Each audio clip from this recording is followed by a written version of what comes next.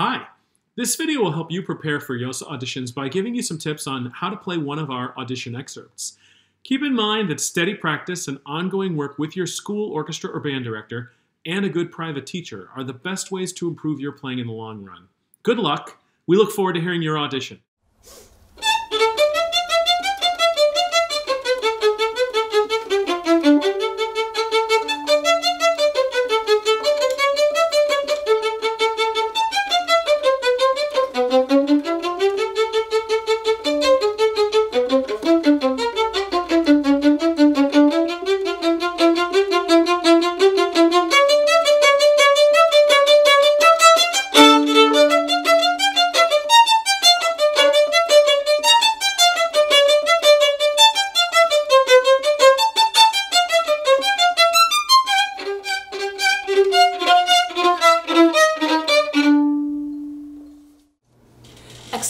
Five is Beethoven's Ninth Symphony.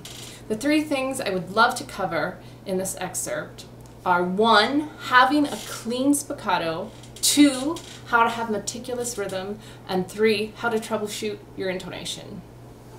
Now, the most difficult thing about this excerpt is having a great spiccato in perfect rhythm while playing pianissimo.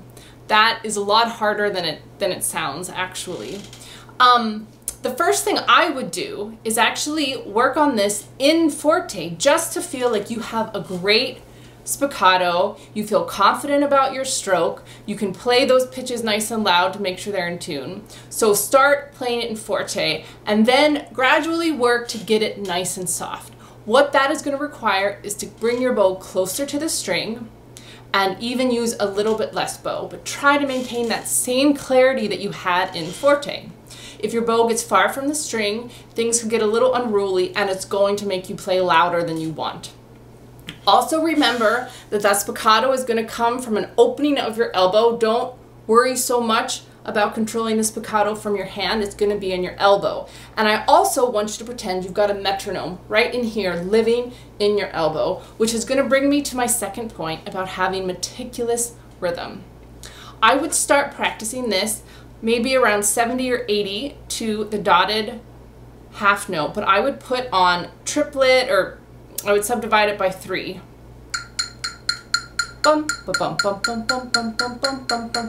Now obviously the quarter notes are going to line up perfectly with those subdivisions, but you have to make sure that dotted quarter note, eighth note is perfectly in rhythm. Bum, ba bum, bum, bum, bum, bum, just like that. Now you're gonna work this up to tempo, and once you get to 112, go ahead and take off the subdivisions. So you'll just have one beat per bar. Get this here.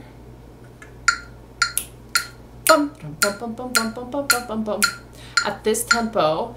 Now, you might think you're done when you get here, but you're not. It's very easy to feel like You've got this down perfectly when we're really relying on the metronome to keep the pulse for us. So what I would like you to do is divide 112 in half and take your metronome down to 56. Now you're still going to play it just as fast, except now the metronome is going to be going once every two bars, and you're going to have to stay accountable for the pulse of this piece. So you're internalizing that pulse. Bum, bum, bum, and that's a really great trick to really get your rhythm great. Lastly, um, intonation. Now, intonation's actually the least of our worries in this piece, right? There's nothing that super tricky here, but we don't want the intonation to go by the wayside because we're so worried about the spiccato and the rhythm. So what I would do in some spots is just play them slowly in forte on the string, like at measure 37, making sure those half steps are nice and close, crystal clear pitches. I want to note that 2 before A in 55 and 56, you do not need to play the double stop for the audition. The top note is fine. And when you shift, make sure that your shifting is not short and picky like your right hand. Usually when we do one thing with one hand, you want to do it with the other. I like to practice my shifts smooth and silky, which is opposite of our right hand. So two before B, I go up into fourth position.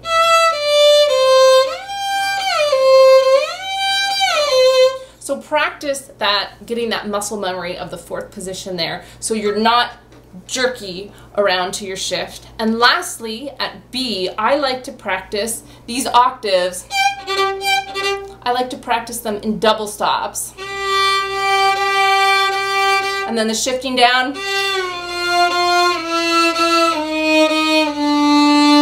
So that your hand is moving as a block every measure that you shift down. Now, it's really tough to play octaves and double stops. So what I would do first is put both of your fingers down, but only play the lower notes. You make sure you get that in tune. Once you feel good about that, go ahead and add your top note, but play that a little softer because we're really leaning on the bottom note for our pitch.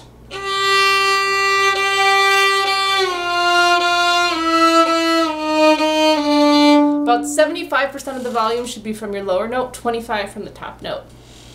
And those are my tips for this excerpt. Make sure to listen to recording, and if you want, you can even play along with one too. Good luck!